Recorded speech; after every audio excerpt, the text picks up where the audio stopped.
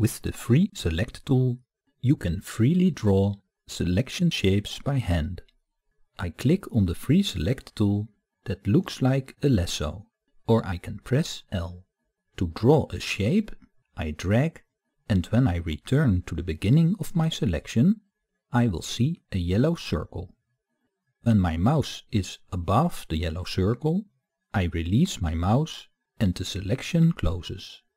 To turn the outline into a selection and see the marching ants, you can either press Enter or double-click inside the outline. I press Ctrl D to deselect. Another way to draw with the free selection tool is by clicking. I click once on the canvas to start a new selection. If I now move my mouse, I will get a straight line. I click again and move my mouse again. To make a horizontal or vertical line, I press the Ctrl key. Another way to close a selection is by double-clicking.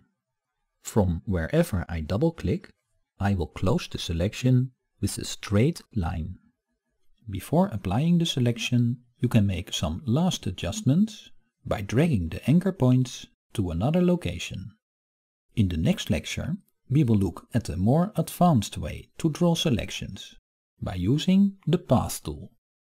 I double-click inside the outline to make the selection definite. I press Ctrl D to deselect. You can both drag and click when you make a selection. I double-click to close the selection.